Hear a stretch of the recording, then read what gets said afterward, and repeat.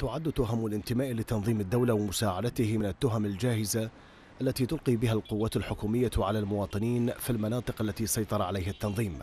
ففي الوقت الذي تعلن فيه الحكومة وقادتها الأمنيون أن حملات الاعتقالات التي تقوم بشنها تستهدف المجرمين والإرهابيين يؤكد الكثيرون أن تلك الحملات تسعى لتكميم الأفواه وتكتسي بعدا طائفيا.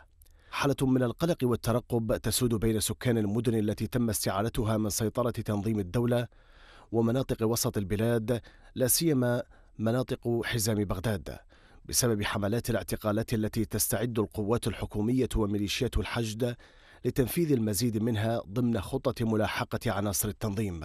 عمليات الاعتقال لا تخلو من الابتزاز المالي بحسب شهادات من تعرض للاعتقال سابقا إذ يضطر ذوي المعتقلين إلى دفع مبالغ مالية تصل إلى آلاف الدولارات لإطلاق سراح أبنائهم أو بمجرد رؤيتهم أو تقديم الهدايا لضمان عدم تعذيبهم في المعتقل خلال التحقيق.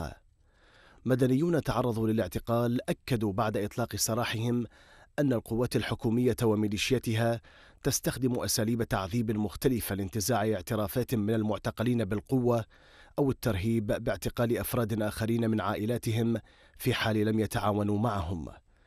مركز بغداد لحقوق الإنسان قال إن المركز يتابع بقلق متزايد تصاعد وتيرة الاعتقالات في الفترة الأخيرة في مناطق بالأنبار ونينوى وبغداد أيضا فيما أكد خشيته من عودة الأجهزة الأمنية إلى سياساتها السابقة والقائمة على اعتقال المدنيين بالاعتماد على وشايات المخبرين أو الشكاوى الكيدية التي عملت على زج آلاف الأبرياء في السجون الحكومية. هذه الاعتقالات كثيرا ما أسفرت عن حالات إعدام وكانت منظمة العفو الدولية قد عبرت عن صدمتها من قيام الحكومة في العراق بإعدام 38 سجينا في سجن الناصرية جنوب البلاد. واعتبرت المنظمة أن تلك الإعدامات تجري وفق عدالة منقوصة لا تتوفر فيها أدنى معايير المحاكمات المعروفة. مطالبة بفتح تحقيق عاجل في عمليات الإعدامات.